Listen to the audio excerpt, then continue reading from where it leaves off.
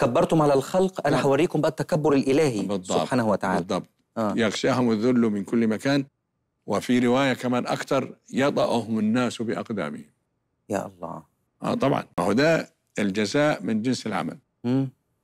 الثواب والعقاب من جنس العمل فهو طبعا عمله أنه ما كانش شايف حد يعني في حتى بالنسبة للغلابة اللي بيتكبر عليهم دول مع أنه هو مثلا لو, من لو لقي آه، من هو يعني أكثر منه كبرا ينقلب إلى منافق فورا. طبعا. آه طبعا.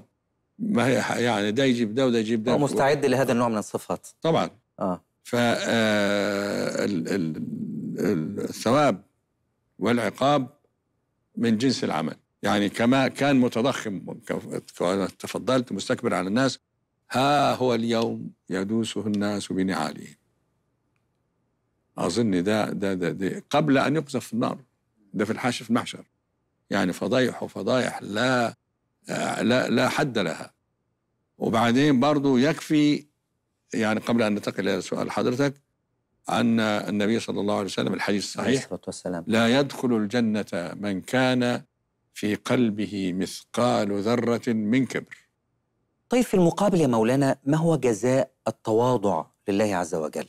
نحن سنكتفي بحديث النبي صلى الله عليه وسلم. ألا أخبركم بأهل الجنة. كل ضعيف متضاعف لو أقسم على الله لأبر. ثم قال ألا أخبركم بأهل النار؟ كل عتل جواز مستكبر.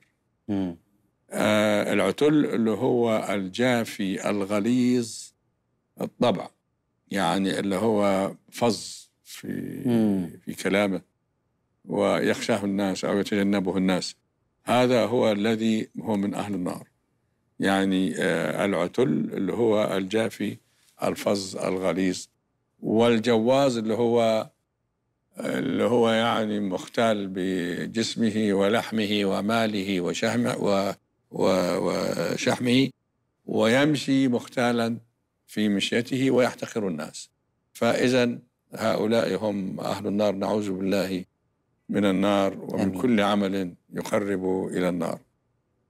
ونسأله سبحانه وتعالى العفو والمغفرة والرضا يا رب. آمين يا رب.